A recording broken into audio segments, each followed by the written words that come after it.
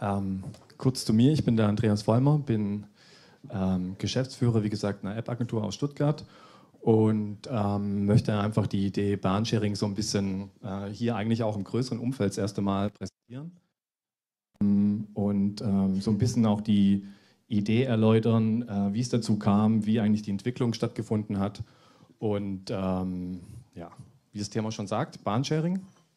Äh, wie so oft, äh, jede App beginnt mit einer Idee oder mit, mit einem Problem im Endeffekt. Ähm, ich hatte das Problem, dass ich, ähm, ich bin geboren in Dresden, ähm, meine Eltern waren in Dresden, ich hatte einen Termin in Dresden und mein Vater fährt ziemlich ungern Auto. Das heißt, er wollte, dass ich das Auto zurückfahre. Also war die Frage, okay, wie komme ich einfach nach Dresden? Das war relativ kurzfristig ähm, und es gab natürlich die verschiedensten Wege. Ähm, das erste, der erste natürliche Weg ist Flugzeug, war einfach zu teuer, ist auch nicht so mein Ding, einchecken, auschecken. Ähm, dann habe ich mir überlegt, okay, Mitfahrgelegenheit. Ähm, ich bin jemand, der natürlich mobil unterwegs ist, das heißt auch extrem viele Sachen mobil ausprobiert. Das heißt, ich benutze auch gelegentlich Mitfahrgelegenheit, musste aber dann dort immer die Erfahrung machen, dass es, ähm, ja, es muss ein zu einem passen. Man lernt Leute, neue Leute kennen, äh, man muss sich mit den Leuten unterhalten, man äh, kennt das Auto nicht, man weiß nicht, wie viel Gepäck man mitnehmen muss, ähm, ich weiß nicht, wie viele Raucherpausen stattfinden werden. Ähm, alles Probleme, die mich sozusagen eigentlich ein Stück belastet haben. Ähm, dann habe ich gedacht, okay, ICE fahren. Ähm, ICE war auch irgendwie nicht so die Motivation groß. Ähm, habe ich gedacht, okay, was, was mache ich jetzt? Ähm, Busfahren war natürlich auch eine Option, ähm, gab aber noch keine, leider keine Strecke. Also habe ich mich durch die Mitfahrgelegenheitsportale gewühlt und habe dann eine junge Dame gefunden, die ein Gruppenticket angeboten hat. Ich hatte noch nie von einem Gruppenticket vorher gehört ähm, habe die junge Dame dann im Endeffekt äh, angerufen. Wir haben uns auf dem Bahnsteig getroffen. Ähm, waren noch drei Leute dabei und wir sind im Endeffekt ähm, nach Dresden gefahren zu einer ziemlich annehmbaren Zeit. Das heißt in siebeneinhalb Stunden mit vier Personen zu einem Preis von 15,50 Euro. Und ähm, ich dachte, okay, ähm, bin in Dresden angekommen, ähm, habe im Endeffekt meinem Partner davon erzählt, habe gesagt, du, ich bin soeben extrem günstig und extrem gut eigentlich nach Dresden gefahren und es gibt diese Gruppentickets. Ähm, und am gleichen Abend haben wir überlegt, okay, ähm, ist ja eigentlich ein gutes Geschäftsmodell. Ähm, haben ein bisschen recherchiert, ähm, am gleichen Abend im Endeffekt auch die bahnsharing.de und die bahnsharing.com gekauft, die auch beide frei waren. Ähm, wo ich gedacht habe, okay, ähm, es gibt also irgendwie äh, jemand, der sich noch nicht so viele Gedanken darüber gemacht hat. Also haben wir am gleichen Abend die Domains gesichert, haben ein Businessmodell gemacht und haben angefangen, im Endeffekt das Thema Gruppentickets ähm, der Deutschen Bahn zu beackern. Ähm, es gibt da im Endeffekt so die zwei großen. Das ist einmal das Quer durchs Land-Ticket und einmal das Wochenendticket. Das heißt, äh, man kann bis zu fünf Personen mitnehmen und teilt sich dann im Endeffekt den Preis. Also im Endeffekt äh, genau dieser Mobility-Share-Gedanke, äh, der ja momentan äh, auch in aller Munde im Endeffekt ist. Ähm, dann habe ich ein bisschen rumgesurft, bis mir aufgefallen, okay, die Bahn bewirbt sogar diese Tickets, ähm, aber trotzdem finde ich, habe ich ja immer das Problem, andere Mitfahrer zu finden. Also ähm, ähm, außerdem gibt es natürlich extrem viele positive Argumente für die Bahn, ähm, die einfach auch so nicht wegzudiskutieren sind. Äh, hier sind ein paar aufgeführt. Das heißt, ähm, man steht natürlich nicht im Stau, weil ein Flixbus, der steht trotzdem im Stau. Es ist umweltfreundlicher. Ähm, es ist natürlich extrem komfortabel. Äh, ich habe eine Toilette, ich kann essen, ich kann mich mit den Leuten unterhalten, kann mich eine, eine Reihe weiter wegsitzen, wenn ich möchte, kann schlafen, Musik hören. Ähm, also eine extrem bequemes Reisen natürlich immer noch, die Deutsche Bahn.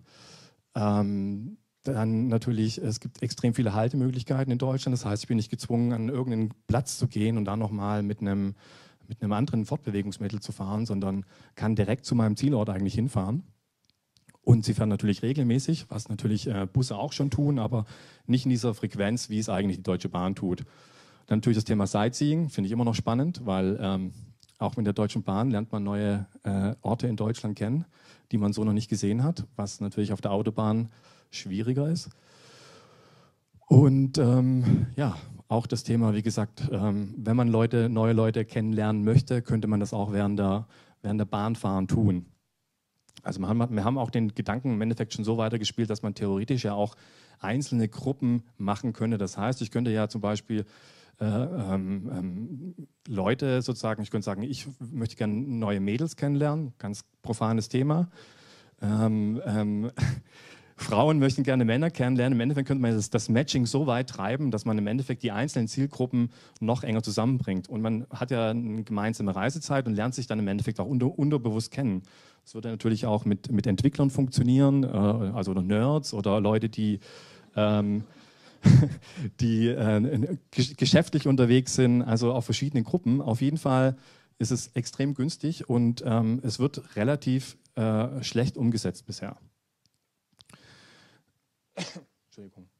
Wir haben uns dann so ein bisschen die Apps angeguckt. Ähm, BlaBlaCar ist so eine der, der in Anführungsstrichen Marktführer, die dieses Thema Bahnsharing äh, am meisten äh, beackern, wo auch die meisten Nutzer sind, die im Endeffekt diese Gruppentickets da anbieten.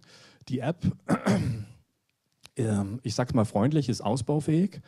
Ähm, genauso wie bei einem Thema Mitfahrgelegenheit. Ähm, da sieht man dann auch, dass dann hier im Endeffekt es ist einfach nur so ein Schieber, den man dann wählen kann, also relativ unprofan, also gar kein Fokus drauf. Und ich so, ja, eigentlich ist es so ein extrem mobiles Thema, weil ähm, man kennt das ja auch vom, von Bahnhöfen. Man wird von anderen Leuten angesprochen, wenn man ein Ticket kauft, die auch äh, irgendwo hinfahren möchten und sagen, hey, möchtest du nicht mit meinem Ticket irgendwo hinfahren? Ähm, aber es gab im Endeffekt keine, keine Lösung für dieses Problem. Wir haben uns dann im Endeffekt ähm, diesem ganzen Thema so ein bisschen angenommen. Ähm, und es gibt so ein paar Fakten, die halt nicht so wegzudiskutieren sind. Das heißt, täglich fahren 60.000 Menschen mit diesen Gruppentickets.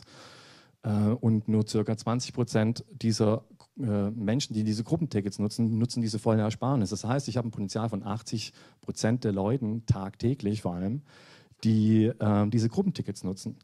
Ähm, das Geschäftsmodell wahrscheinlich der Deutschen Bahn äh, sieht natürlich nicht vor, dass man diese, diese Gruppentickets ausreizt, äh, sondern ähm, die kalkulieren wahrscheinlich damit, dass man genauso eigentlich diese bestehende Möglichkeit relativ schlecht ausnutzt.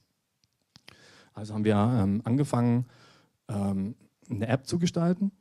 Das war im Endeffekt so das erste Mockup. Ich hatte mit meinem Designer gesprochen, ich hatte es geskribbelt, ich habe es ihm rüber geschickt. Ähm, ein paar Stunden später kam so das, das erste Mockup, so wie wir es nennen, eigentlich zurück. Und wir so, ja, das sieht eigentlich relativ schön aus. Wir haben es natürlich auch ein bisschen so im, im Thema Deutsche Bahn, äh, den Farben so ein bisschen gehalten. Und ähm, das waren dann sozusagen eigentlich die, die fortgeschritteneren äh, Mockups. Wie gesagt, die Mockups sind im Endeffekt nichts anderes, als um sich einfach mal vorzustellen, wie so eine App aussehen könnte. Ähm, wir haben hier versucht, ähm, das Thema spontan äh, sozusagen Mitfahrer zu suchen, genauso wie äh, ähm, Suchende und Anbietende im Endeffekt zusammenzubringen. Das heißt, ich kann ähm, ähm, eine Fahrt, eine Zugfahrt eintragen und wir crawlen dann im Endeffekt die, die mobile Seite der Deutschen Bahn und bieten dann im, Gegenzug diese Fahrt dann auf dieser Plattform an und andere Leute können sich dann sozusagen an, an diese Fahrten anschließen.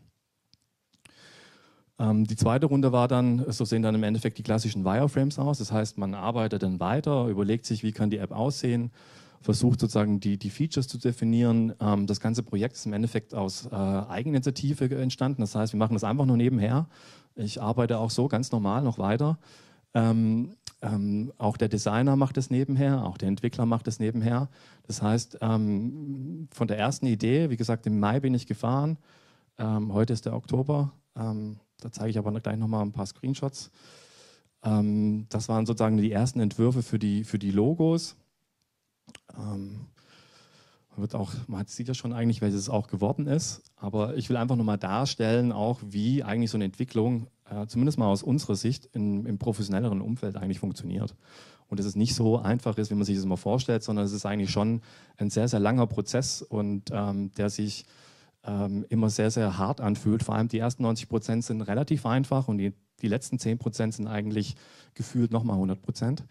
Ähm, und das ist im Endeffekt so das Endprodukt geworden. Das heißt, wir haben so eine, eine Navigation ähm, ähm, im Endeffekt ein Stück weit auch kopiert von, der, von, von Movil, weil wir das einfach extrem gut und gelungen finden ähm, und es auch Spaß macht, das Ding zu nutzen.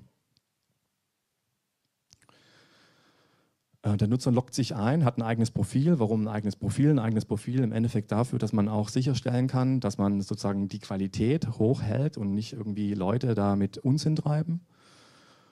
Und ähm, das sind im Endeffekt sozusagen die finalen Screenshots, die aus dieser ganzen Entwicklung dann entstanden sind. Das war dann im September.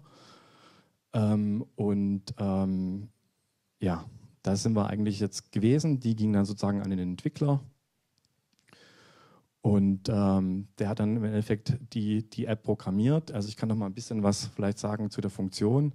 Im Endeffekt kann jeder, der ein Ticket anbietet, sozusagen äh, nach einer Fahrt suchen. Wir suchen im Endeffekt live auf, dieser, äh, auf der mobilen Seite der Deutschen Bahn und bieten dann direkt diese Züge auch an. Das heißt, ich locke dann diesen Zug direkt ein, sage, ich fahre mit fünf Leuten und biete den dann im Endeffekt meinen potenziellen Mitfahrern an.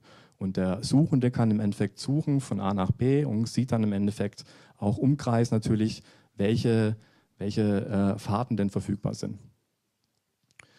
Ähm, wie gesagt, ähm, das Ganze haben wir in HTML5 umgesetzt äh, als, als Web-App, weil es im Endeffekt äh, die, kostenintensiv, die kostengünstigste Version war, schnell eine Version zu haben, die gleichzeitig im Web, also auf der mobilen Seite läuft, die aber auch gleichzeitig in Apps funktioniert für iOS und Android.